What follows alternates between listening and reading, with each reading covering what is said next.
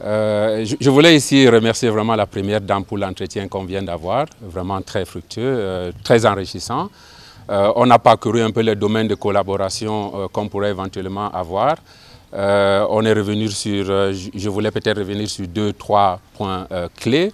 Vous, vous, connaissez l'engagement de la première dame par rapport à la malnutrition zéro. Donc ça, c'est quelque chose sur, lequel on est revenu dessus. On est aussi revenu dessus sur, euh, il, y a, environ dix jours, une dizaine de jours, elle a lancé, comme vous le savez, euh, tout ce qui est le développement de, la petite enfance. Donc on voulait vraiment la remercier pour son leadership par rapport à cela. On a aussi parlé de son engagement euh, envers, la jeunesse et les jeunes filles en particulier, mais aussi tous les enfants.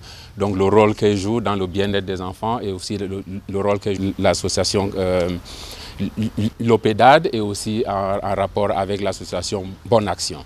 Je, crois qu'on a trouvé là des points de, de, collaboration ensemble et on va continuer cet engagement et ce travail ensemble pour le bien-être des enfants burundais.